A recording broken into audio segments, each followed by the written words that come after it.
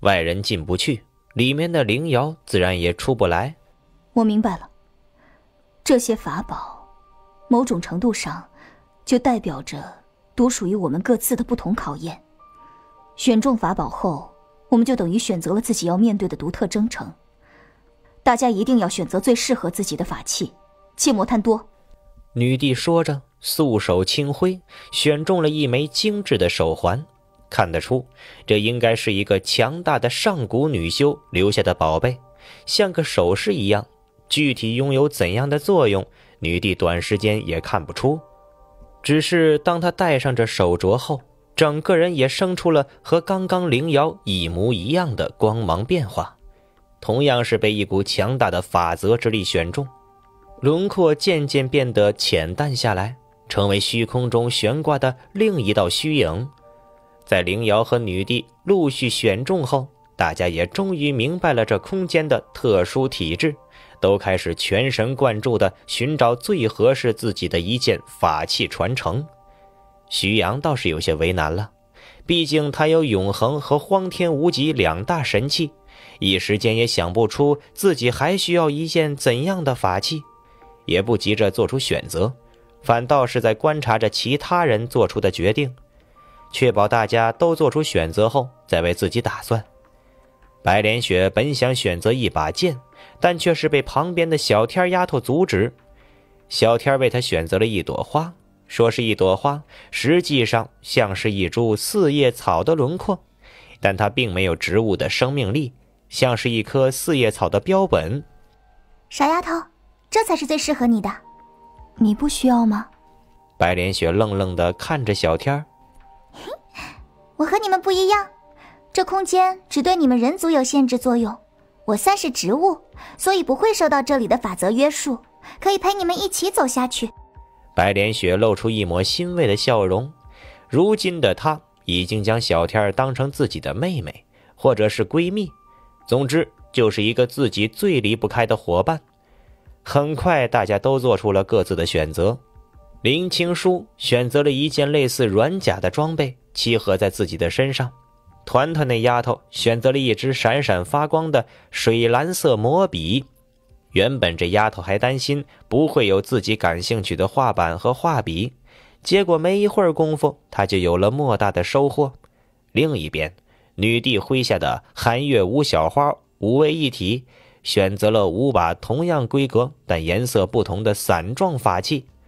眼看着大家一个个的都被对应的法器选中，飘入虚空中，那独属于自己的新的起点，只剩下龙坤和徐阳哥俩好。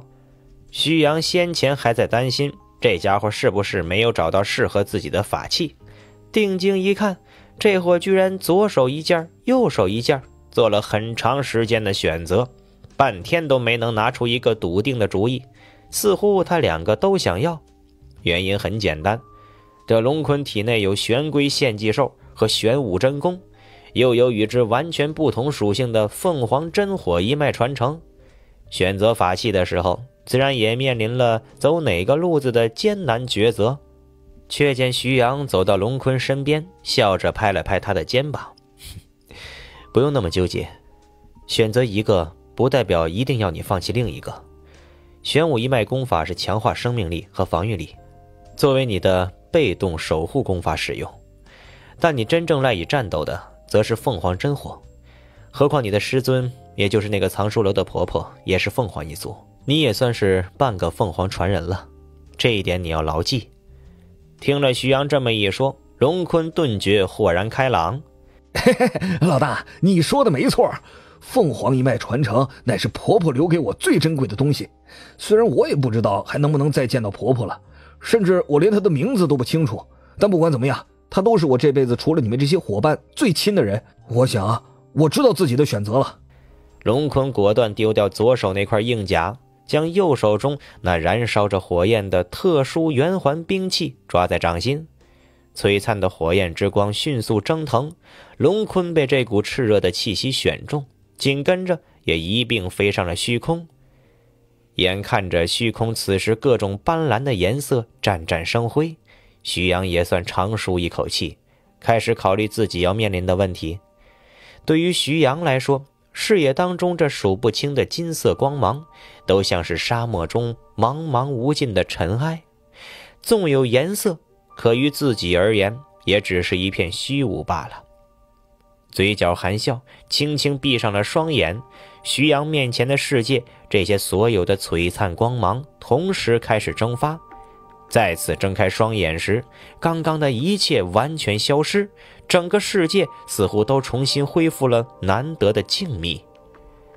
小子，往前走。脑海中守护巨龙魂突然苏醒，这还是来自东海一战后老龙魂第一次清醒过来，在这至关重要的时刻带给徐阳关键性的提点。徐阳明白，惊动这老龙。他必是有什么重要的发现。果然，越是向前路迷茫的尽头走去，那股令自己感到十分亲和的气息就越明显。直到面前这一团虚妄散尽，一座由白骨堆砌的假山出现在徐阳面前。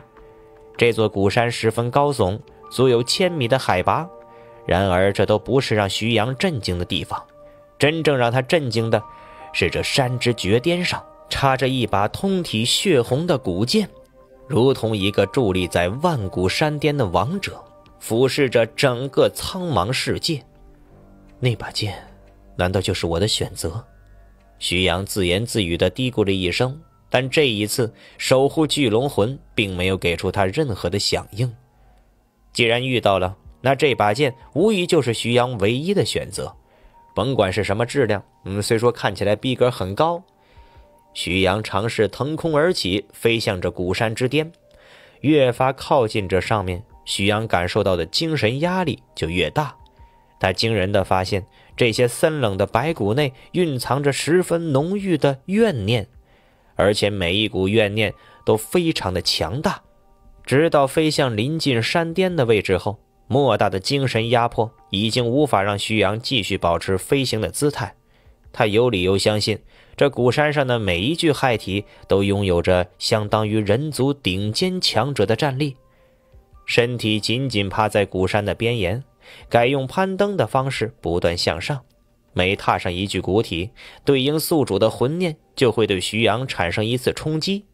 整个过程中，徐阳都在承受着莫大的煎熬。